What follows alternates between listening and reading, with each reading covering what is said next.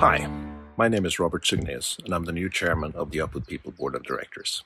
First of all, I want to say a big thank you to all the healthcare workers, the first providers, and everyone else who keeps our society safe and functioning during this pandemic around the world. I also want to say a big thank you to all those of you that have contributed to Up with People through our GoFundMe page, through our emergency fund initiative, and also during Giving Tuesday. Your support is so important for us to move on into the future with Up with People. I am not an Up with People songwriter, but my daughter Amanda is. And she has written this song for the Up with People show a few years back and will sing it from our home in Stockholm, Sweden. The song was inspired by Nobel Peace Prize laureate Malala and is all about women's equal rights.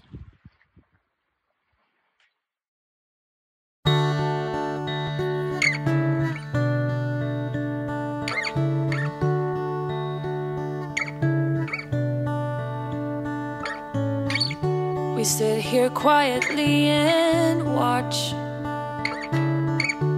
in our comfortable chairs. Will enough ever be enough?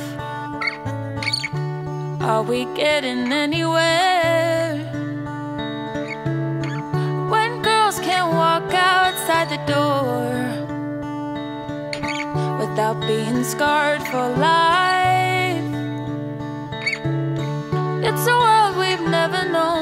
Before.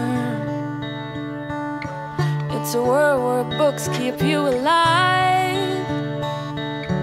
Maybe we should follow the footsteps of a girl, the woman of tomorrow. Let's fight for a better world.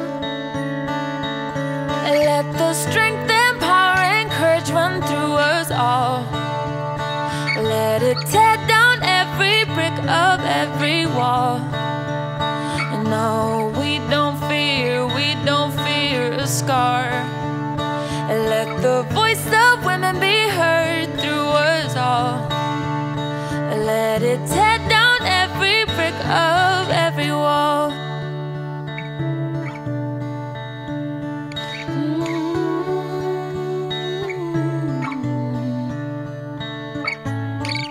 How could we let it get this way? How could we close our eyes? I couldn't bear to sit and wait when we still have the time. Maybe we should follow the footsteps of a girl, the woman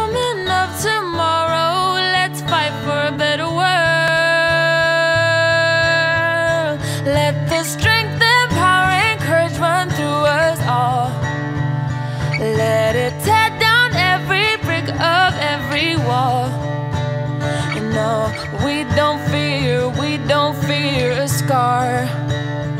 Let the voice of women be heard through us all. Let the strength and power and courage run through us all. Let it tear down every brick of every wall. Cause we don't fear, we don't fear a scar. Let the